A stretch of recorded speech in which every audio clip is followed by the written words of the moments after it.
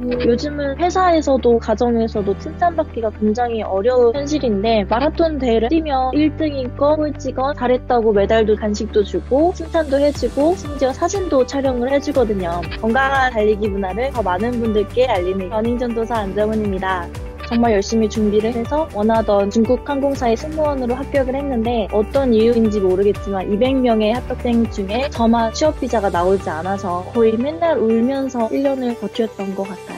이렇게 울기만 하면 안 될 것 같다라는 생각에 그냥 박차고 밖을 나갔는데 밖에 나가서도 눈물이 계속 흐르더라고요. 주변 사람들의 시선이 의식이 돼서 눈물이 땀처럼 보이게 하려고 빨리 달렸어요.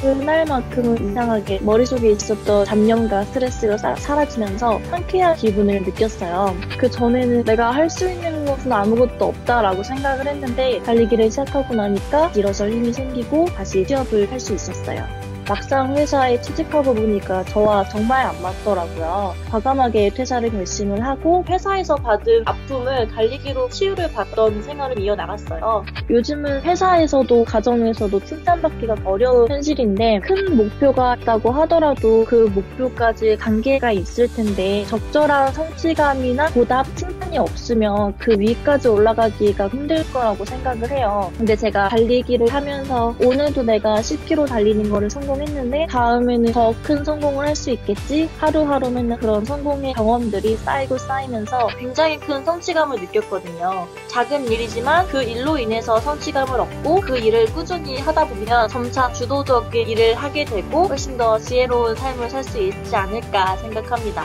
대단한 일을 한 것도 아니고 그냥 하루에 5분 달리기를 했을 뿐인데 지금 저의 인생은 굉장히 많이 달라졌어요. 달리기를 시작하기 전에는 저를 다른 사람과 비교하는 안 좋은 성격을 갖고 있었어요. 달리기를 시작하고 나니까 어제의 나와 오늘의 나를 비교하게 되더라고요. 어제는 5km를 달렸는데 오늘은 6km를 달려볼까? 어제보다 10초 더 빨리 뛰었네? 그런 생각을 하게 되니까 스트레스도 덜 받고 이제는 어떤 말을 들어도 흔들리지 않는 기둥을 세울 수 있던 것 같아요. 달리기의 시작은 걷기라고 생각을 해요. 출발선에 서지 않으면 결국 finish line에 들어가지도 않더라고요. 하더라고요. 운동화끈 바짝 동여매고 나가기만 하면 어쨌든 성공의 길로 이어지니까 가끔 편하게 걸으시면서 조금씩 즐겨보시면 정말 좋을 것 같아요.